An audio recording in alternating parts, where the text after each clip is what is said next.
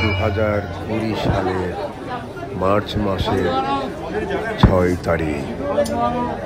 উদযাপিত হচ্ছে স্বর্ণজাতি তথা মহাসুখ প্রার্থনাপূরক বুদ্ধ ধাতু জাতির একুশতম বার্ষিক বুদ্ধ পূজা।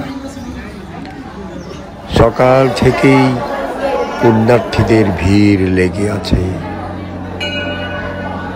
তাদের কোলাহলে মুখরিত বুদ্ধ ধাতু জাতি প্রাঙ্গণ।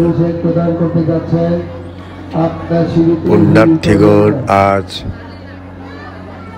নির্বাণ কামনায় আঠাশ বুদ্ধ এবং অনাগত দশ বুদ্ধকে পূজা করবে। কিছুক্ষণের মধ্যেই বুদ্ধাভিষেক অনুষ্ঠান শুরু হবে।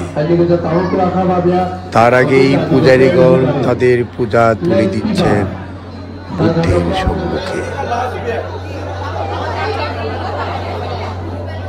পূজারীদের ত্রিচেতনা পূর্ণ দানের ইচ্ছা, দানের অভিপ্রায় দর্শনে সত্যি অভিভূত হতে হয় আনন্দিত হতে হয় সাধুবাদ দিতে হয়।